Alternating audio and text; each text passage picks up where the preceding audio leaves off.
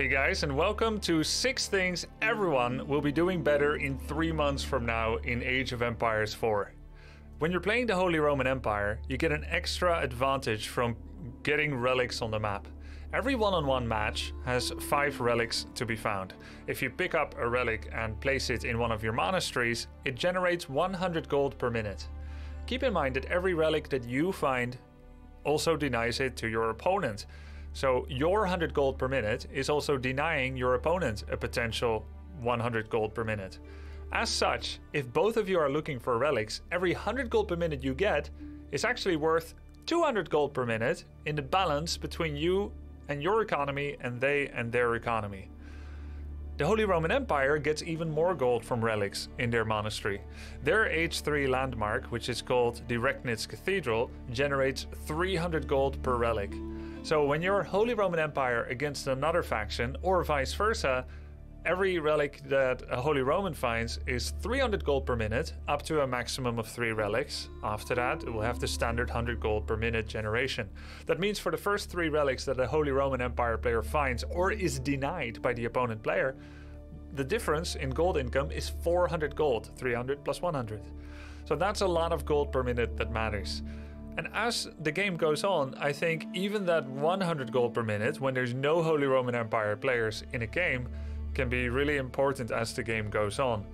Rus often goes to the Third Age with their landmark that produces warrior monks, and those are mounted cavalry. They're fast, and it's very easy to just train one or two, pick up the relics, and bring them back. And while mass conversion isn't though that powerful because it has a strong announcement on the map that someone is trying to convert your units with their monk holding a relic, I think just the gold per minute and the denial to an opponent is going to get more and more important. One of the interesting things is that with eight factions, different factions have different prioritizations. Rus hunt the animals and Holy Roman hunt the relics, and everyone has their own little quirks. As you play as or with or against Rus, you start to realize that the deer hunt matters. Same with Holy Roman Empire, you start to realize that the relics matter, and thus playing with them in a game, you train your skill in that. And while now people think, oh, Holy Roman, I need to stop them getting relics, I think that's going to matter even in an English versus French game or an Abbasid Dynasty versus Delhi game. So I think there'll be a lot greater focus on relics. Nowadays, we still see high level games and games that are ladder where relics are just completely ignored by both players. And I don't think that's going to be the case in three months from now. Next up, wall building to deny raids and scouting. Number two of things we'll be doing better. Well, we all know the value of walls because it denies scouting and stops cavalry raids. And it gives an advance warning as well to people that are trying to defend their city against raids or all scale attacks. And while walls do have an opportunity cost of the villager that needs to make it, as well as the lumber that is required to build the wall, it seems there is a sweet spot in the game where you start to wall off your flanks at the very least. And oftentimes we'll forget to do it because we're too busy uh, with other things with the multitask. And as people get better at running their standard economy, defending, attacking, training, and scouting, more mental acuity will be freed up. Uh, for making walls. And I think going for like a 20 25 minute game without any uh, walls is gonna seem pretty unthinkable uh, as the game goes on. Additionally, and that's, this is a little sub point to this, getting the textiles upgrade for villager HP. It costs 20 seconds it requires 150 resources and it gives all your 50 HP villagers plus 25 HP for a maximum of 75 HP. Not getting this upgrade, the textiles upgrade, seems pretty insane. Uh, when when you could yeah, this one Imagine having like 80 villagers and not getting this upgrade because you fool yourself into thinking, no, I don't have time. I need more villagers. Uh, I need more greed. Well, how greedy is it if you lose 5 to 10 villagers? So I think there is a sweet spot when to get it. I suspect it's not by the time you have 30 villagers, but once you're going over 60, 100% you should have it. And I think every player right now that's playing pro tourneys or, or is high on the ladder and is not getting this, it's an oversight more than really uh, it, it being like a smart choice or anything like that. All right, point number three. When playing as or against the Rus, we all become aware of their special price, their special bonus uh, gathering rates, when they kill more animals on the map. Uh, so the way that Rus works is when they kill deer, wolves, sheep, and boar, they get points for their bounty. And a b- bigger bounty gives them global resource gathering rates. And this is very powerful. So Rus players will be sending their scouts to kill deer on the map as well as wolves. And smart counter players to Rus will be doing the same thing to deny them their bonus. And then uh, Rus is also able to very simply make scouts from their hunting cabins, which are gold generating, food dropping off buildings that can also produce scouts. And because they now don't have to tie up their town center to make scouts, and they can actually make it from the hunting cabin, they're able to utilize this free production from the cabin to get a lot of scouts, more than other factions can, without sacrificing any town center uh, uptime at making villagers. And so we're all aware of that, and Rus has started to make use of the Professional Scouts upgrade, which is a rather expensive 350 resource upgrade that allows them to one shot deer, which is not that important, but it also allows them to pick up the corpses of deer, bring them back under the town center. Every one on one game has four deer hunts on the map, two relatively close to one player and two relatively close to the other. But it's kind of randomized, so you need to scout and find them. And the professional scouts, and every uh, deer hunt has like 6 to 10 deer in it. So this up, and every deer has 350 meat per corpse. So if you take this upgrade and you micro for a few minutes from the between the 4 to the 7 minute mark and you bring back corpse after corpse after corpse with your scouts uh, with your scouts, you can get thousands of food under the relative safety of your town center right there where villagers are gathering it without needing to branch out and go on the map, spread yourself thin and make yourself more harassable. It started with the Rus, and now more and more people are getting it just to try and get a faster castle upgrade, bringing those deer back, and then getting the survival technique upgrade to gather hunted meat even faster has become a very valuable tool. And I think we're going to see it more and more. When you know your opponent is getting it, when you get it as well, not just are you getting it, but you're also denying the carcasses to your opponent. Letting someone take all of the deer on the map and bring them back under their own town center can seem too much of an advantage to give up. So I think we will see it more and more in three months from now, uh, and we're already seeing it more. Then, point number four. I think we're gonna see more people playing the Chinese faction. And the Chinese faction has a huge potential. They can make Springalds in 10 seconds from their clock tower uh, landmark, H3 landmark. And all of the building, all of the siege units that they make from the uh, astronomical clock tower also have 50% bonus health. That means that Springalds have 300 health instead of 200. That means that Springalds, instead of getting three shot by other Springalds, will need to be, let's see, 80, 30, and 80 will need to be four shot. So one more shot required. And it also makes their bombards stronger and all that.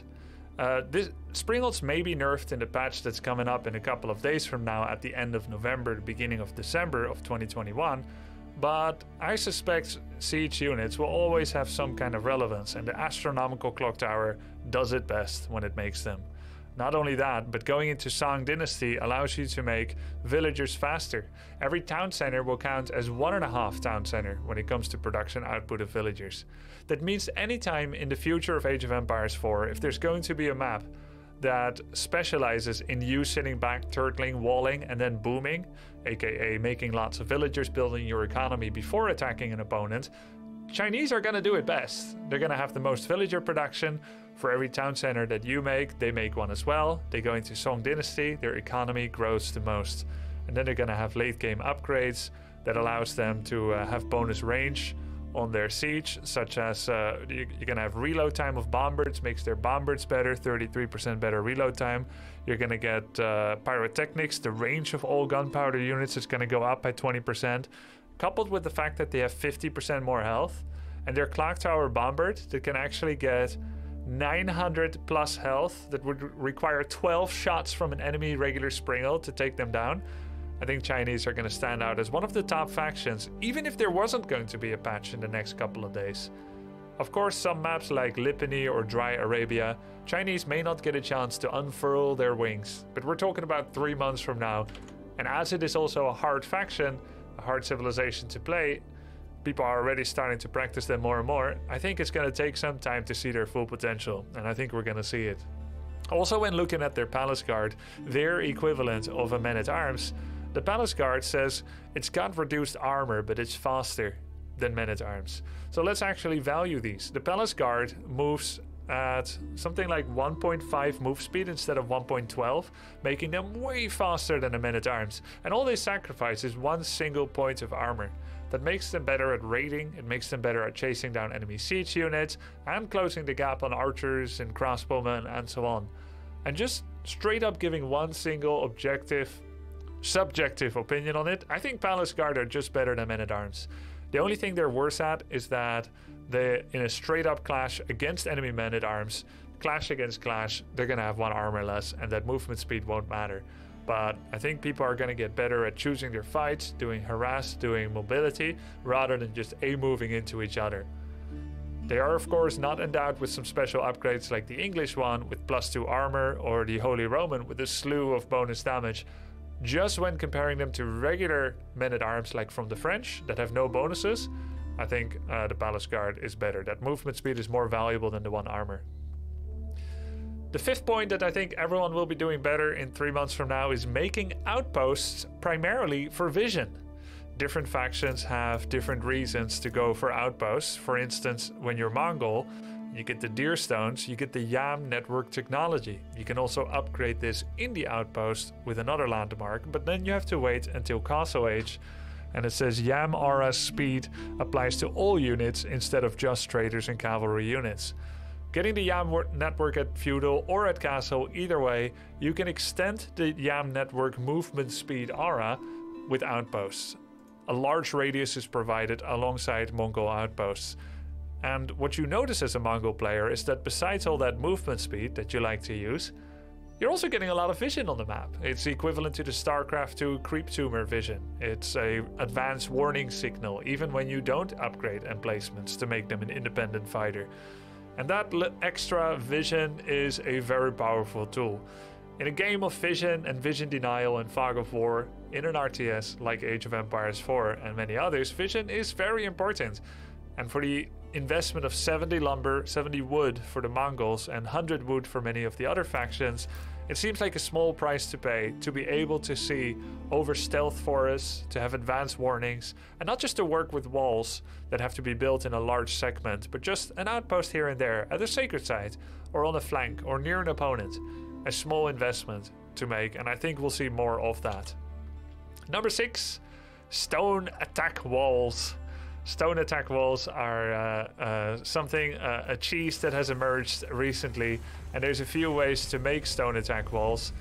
And if we if we boot up a game, I can show you exactly how. Basically, stone walls are a cool way to give extra bonus to your ranged units.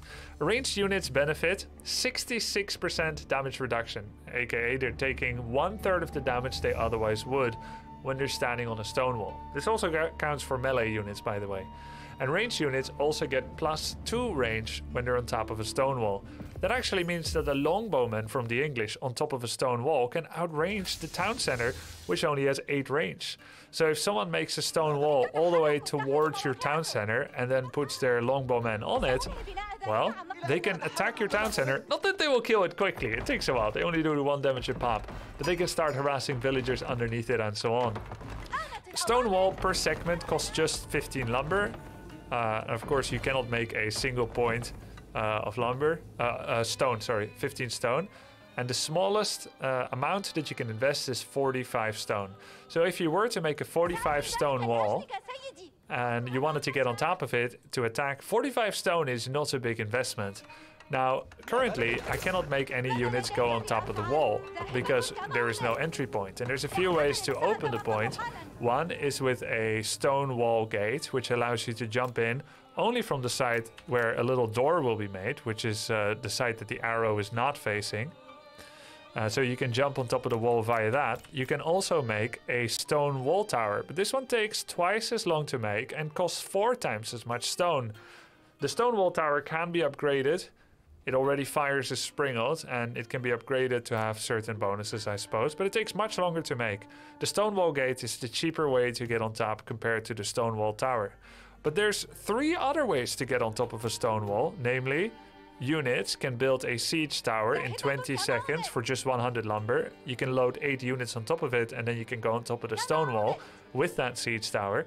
But there's two other ways. One, wall segments can be destroyed. You can destroy your opponent's wall segments and then anyone can jump on top of them. But you can also just hold the delete key on your own, stall, uh, own stone wall segments, which will allow a walk up point as well.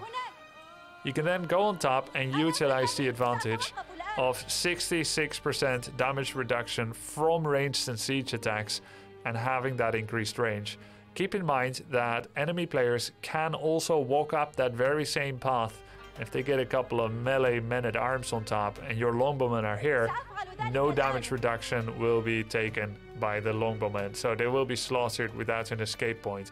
But if you control the entry point, you can even start a long stone wall all the way to your opponent's base from way back far, and then you can basically take the highway, the magnetic levitation train, all the way to uh, the city of your opponent and start harassing them with longbowmen.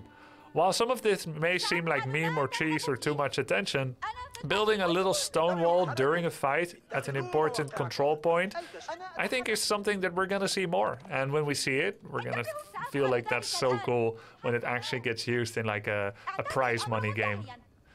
Those were the six points I think we're gonna be doing better at. Let's see if I'm right. Exclamation mark remind me February 29th.